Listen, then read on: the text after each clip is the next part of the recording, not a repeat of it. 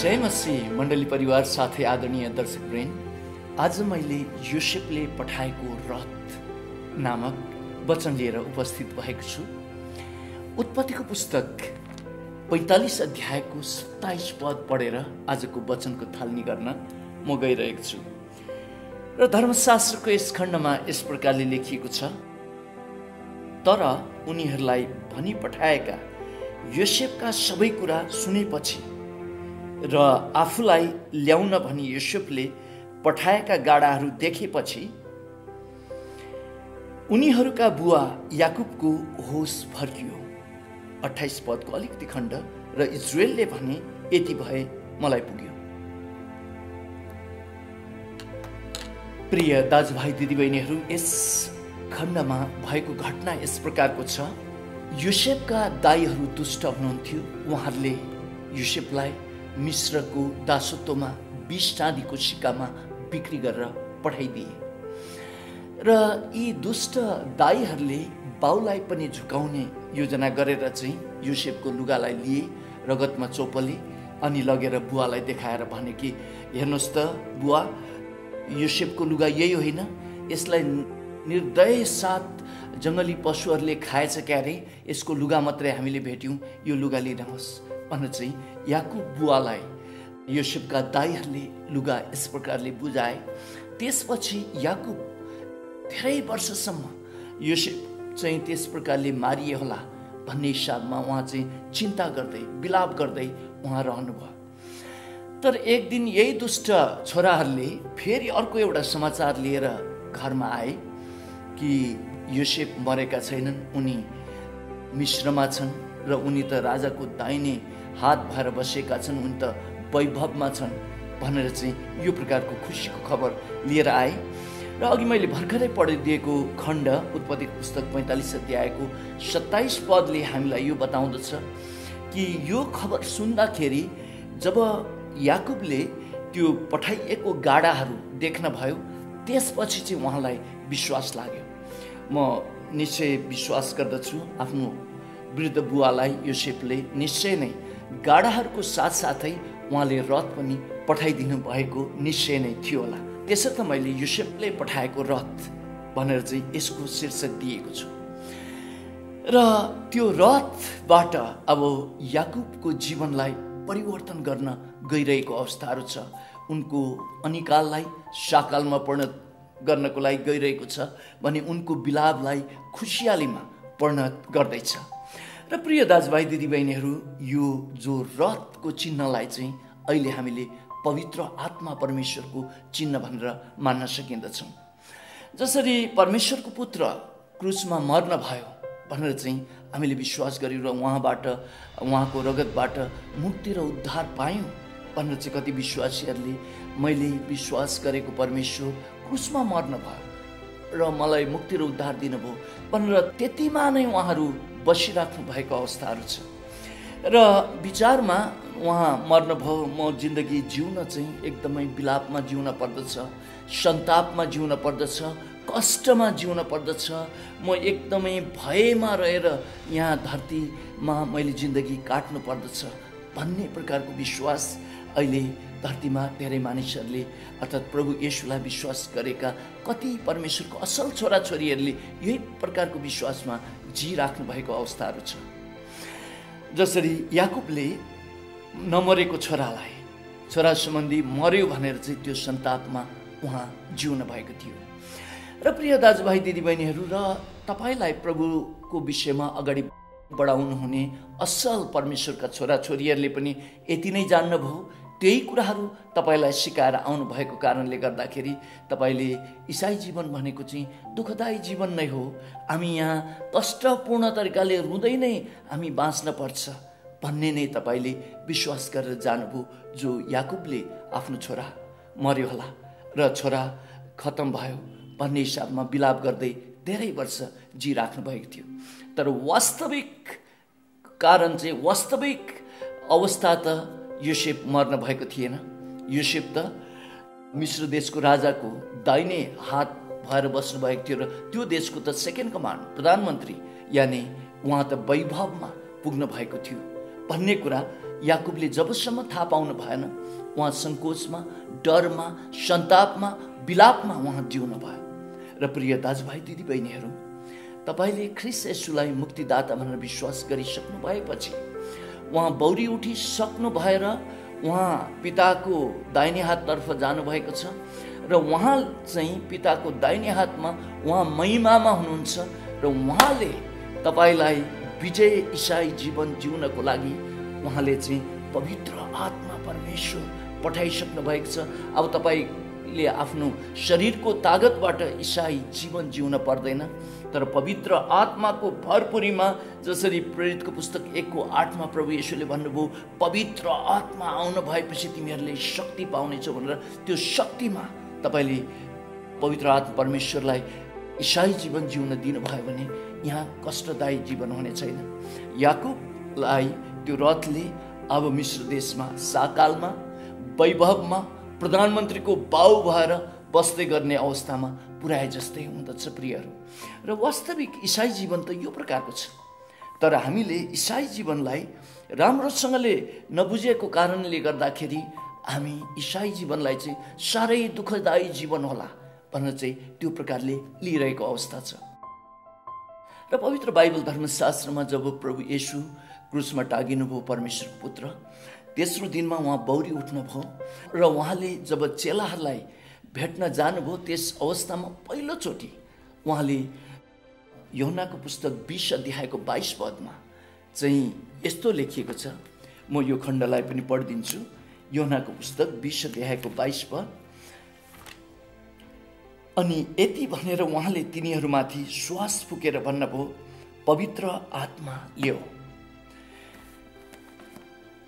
प्रभु येसु तेस्रो दिनमा बौरी उठ्न भइसकेपछि जब चेलाहरूसँग उहाँले भेट गर्नुभयो उहाँले उनीहरूको नाकैमा गएर फुक्नु भएर पवित्र आत्मा लियो भनेर चाहिँ भनिसक्नुभयो।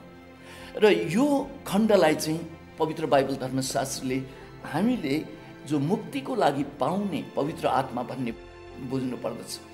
Indwelling of the Holy Spirit भित्री हामीसँग बस्नुहुने पवित्र आत्मा भन्ने हामीले बुझ्न पर्दछ।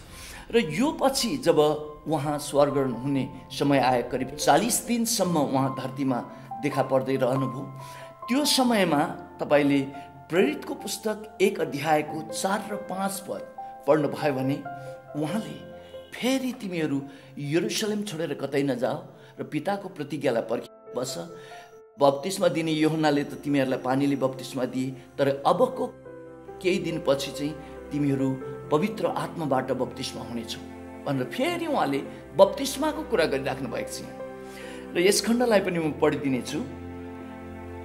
र यो खण्ड हुनेछ प्रेरितको पुस्तक एक अध्यायको चार र पाँच पद। तिनीहरूसँग भोजनमा बस्नुहुँदा उहाँले तिनीहरूलाई यस्तो आदेश दिनुभयो तिमीहरू यरुसलेमबाट कतै नजाऊ तर पिताले गर्नुभएको प्रतिज्ञाको प्रतीक्षा गर। यसबारे तिमीहरूले मबाट सुनिसकेका छौ किनभने योहन्नाले त पानीले बत्तिसमा दिए तर अबका थोरै दिनमा पवित्र आत्मामा तिमीहरूको बत्तिसमा हुनेछ। प्रिय दाजुभाइ दिदीबहिनीहरू प्रभु येसुले योनाको पुस्तक बिस अध्यायको बाइस पदमा पहिल्यै नै फुकेर पवित्र आत्मा लियो भनेर भनिसक्नु भएको छ। तर अब यहाँ स्वर्ग हुनु बेलामा धेरै पछि यहाँ फेरि भन्दै हुनुहुन्छ कि यरुसलेम छोडेर कतै नजाऊ र तिमीहरू पवित्र आत्माको बत्तिसमा भएपछि मात्र यरुसलेम छोड भनेर चाहिँ यहाँ यो प्रकारले आदेश दिँदै हुनुहुन्छ। र यसलाई बुझ्न पर्ने कुरा पहिलो खण्डले चाहिँ हामीभित्र बस्नुहुने पवित्र आत्मा परमेश्वर indwelling of the Holy Spirit भनेको भित्र बस्नुहुने पवित्र आत्माको कुरालाई फुकेर उहाँले पवित्र आत्मा लियो भन्ने कुराले चाहिँ ती कुराहरूलाई बुझाउँदछ। जसले हामीभित्र पवित्र आत्मा परमेश्वरले हाम्रो आत्मालाई छुन भएपछि एउटा व्यक्तिले ख्रिस यसुलाई मुक्तिदाता भनेर चिन्न हुन्छ। र यो अवस्थामा हामीभित्र बस्नुहुने पवित्र आत्मा परमेश्वरले चाहिँ मुक्तिको कार्यहरू गर्नुहुन्छ प्रिय। तर यहाँ उहाँले दोस्रो चोटि जब स्वर्गन हुनुभन्दा अलिकति अगाडि भन्दै गर्नुभएको पवित्र आत्माको बत्तिसमाको कुरा चाहिँ शक्तिको कुराहरू र प्रेरितको पुस्तक एक अध्यायको आठ पद त्यहाँदेखि अलिकति तल तपाईँले पढ्नुभयो भने पवित्र आत्मा आउन भएपछि तिमीहरूले शक्ति पाउनेछौ। तिमीहरू यरुसलेममा यौदियामा सामरियामा र संसारको हरेक कुनामा मेरो गवाह हुनेछौ। भनेर चाहिँ उहाँले त्यहाँ भन्नुभएको हामी देख्दछौँ। त्यसले गर्दाखेरि जो दोस्रो चोटि उहाँले भन्नुभएको कुरा चाहिँ पवित्र आत्माको बत्तिस्माको कुरा हो। यो चाहिँ बाहिरीबाट ढाकिने कुराहरू जब तपाईँले पानीको बत्तिस्मा लिनुभयो तपाईँ पानीबाट ढाकिनुभयो तपाईँ पानीभित्र जानुभयो। तर पहिलाको जो indwelling of the Holy Spirit छ पछाडिको चाहिँ outpouring of the Holy Spirit हो तर पहिलाको कुरामा चाहिँ मुक्तिको कार्य गर्नुहुने पवित्र आत्मा परमेश्वरको छुवाई चाहिँ भित्री पस्ने कुराहरू तपाईँको आत्मामा पस्नुहुने कुरा बाइबल धर्मशास्त्रले त्यही बताउँदछ। तर पछिको जो बत्तिसमाको कुरा छ तपाईँ उहाँभित्र पस्ने कुराहरू उहाँबाट ढाकिने कुराहरू र प्रवृत्तिको पुस्तक दुई अध्यायको एकदेखि चार पदमा तपाईँले पढ्नुभयो भने त्यहाँ एउटा ठुलो बतासको झोका स्वर्गबाट आएको जस्तो महसुस हुँदछ। र ती सबैमाथि आगो चाहिँ उहाँहरूको शिरमा बस्दछ। र बत्तिसमा दिने योहनाले आफ्ना चेलाहरू लगायत अरू मानिसहरूलाई दिनुभएको गवाई पनि यही नै थियो। म त तिमीहरूलाई पानीले बत्तिसमा दिन्छु तर मेरो पछि आउँदै गर्नुहुनेले चाहिँ तिमीहरूलाई आगोले बत्तिसमा दिनुहुनेछ भनेर चाहिँ भन्नुभएको थियो। र प्रेरितको पुस्तक दुई अध्यायको एक पददेखि चार पदमा यहाँ चेलाहरू लगायत अरू जम्मा गरेर एक सय बिसजना आगोबाट बत्तिसमा भएको हामी पाउँदछौँ र उहाँहरू एकदम शक्ति र सामर्थ्यमा आउनुभएको चार्ज हुनुभएको हामी देख्दछौँ। र पवित्र आत्मा परमेश्वरको भित्री छुवाईले चाहिँ एउटा व्यक्तिले ख्रिस यसुलाई चिन्नुहुन्छ। जसरी पहिलो कोरन्थीको पुस्तक बाह्रको तिनको खले भन्छ पवित्र आत्मा बाहेक कसैले प्रभु यसुलाई परमेश्वर भन्न सक्दैन भनेर चाहिँ भन्दछ। तर दोस्रो खण्डमा जो पवित्र आत्माको बत्तिसमा छ यो चाहिँ प्रेरित पुस्तक एक अध्यायको आठ पद अनुसार तपाईँले शक्ति पाउनुहुन्छ। इसाई जीवन जिउने शक्ति पाउनुहुन्छ। तर प्रभु यसुलाई विश्वास गरेर मुक्ति र उद्धार पाइसकेका प्रभुका छोरा छोरीहरूले पनि पवित्र आत्माको बत्तिसमा नपाउनु जेलसम्म चाहिँ आफ्नो शरीरले नै एउटा धार्मिक जीवन जिउने कोसिसहरू गर्ने प्रकारको प्रयासहरू हुँदछ र त्यो चाहिँ एकदमै दुःखदायी इसाई जीवन बन्न जाँदछ।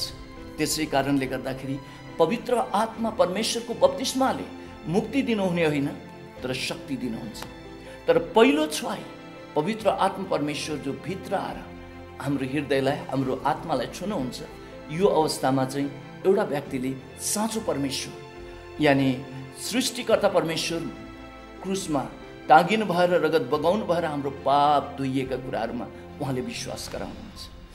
त्यसले गर्दाखेरि प्रिय दाजुभाइ दिदीबहिनीहरू हामीले थाहा गर्नुपर्ने कुराहरू चाहिँ पवित्र आत्मा परमेश्वरको दुईवटा काम गराई प्रभु येसुले यहाँ स्पष्ट गर्नुभएको छ। आज चर्चहरूमा कति यही कुराहरू सम्बन्धी चाहिँ अलिकति मिसअन्डरस्ट्यान्डिङ भएको देखिँदछ। तर पवित्र आत्मा परमेश्वरको भित्री हाम्रो आत्मामा छुवाएको कुरा एउटा भयो र अर्को चाहिँ बाहिरी हामीलाई आत्माको बत्तिसमाको कुराहरू र पवित्र आत्माको बत्तिसमा उहाँले दिइसक्नु भएको छ। योसेफले रथ याकुबलाई पठाइसकेको जस्तो नै पवित्र आत्मा परमेश्वरको बत्तिसमा यानि पवित्र आत्मा परमेश्वर प्रभु येसुले पिताबाट पठाइसक्नु भएको छ। पेतिकोसको दिनमा आइसक्नु भएको छ। अब तपाईँले धारण गर्नु मात्रै बाँकी छ। तपाईँले यदि पवित्र आत्माको बत्तिसमा पाउनु भएको छैन भने तपाईँले स्वीकार गरेर म यो रथमा चढ्छु भनेर जसरी याकुबले भने अब मलाई यति भए पुग्यो। मैले थाहा गरेँ। जिन्दगी गाह्रो रहेनछ खासमा। जिन्दगी त सबै परमेश्वरले सब कुराहरू मिलाइदिनु भएको रहेछ। तर मैले नजानेर पो बेठिक प्रकारले जिरहेको रहेछु। भन्ने भन्नुभए जस्तो नै अब मलाई थाहा भयो। पवित्र आत्मा परमेश्वरको बत्तिसमाबाट म सफल इसाई जीवन जिउन सक्छु। भनेर जब तपाईँले यो कुरा थाहा पाउनुहुनेछ त्यस समय तपाईँले पवित्र आत्मा परमेश्वरको बत्तिसमा पाउन सक्नुहुनेछ। र म अर्को सिरिजमा कसरी पवित्र आत्मा परमेश्वरको बत्तिसमा पाउने भन्ने विषयमा हामी बोल्नेछु। तर यहाँ मैले बोल्दै गरेको खण्डमा पवित्र आत्मा परमेश्वरको बत्तिसमा चाहिँ शक्तिशाली हुँदछ। प्रियहरू मसाले जब पवित्र आत्मा परमेश्वर उहाँसँग हुनुहुन्थ्यो एउटा लट्ठीले लाल समुद्रलाई दुई भाग बनाइदिनु भयो। दाउदले जब पवित्र आत्मा उहाँमा हुनुहुन्थ्यो उहाँले सिंहको मुख च्यादिनुहुन्थ्यो एउटा ढुङ्गाले गोलियो त्यत्रो अजङ्गको व्यक्तिलाई खतमै पारिदिनु भयो।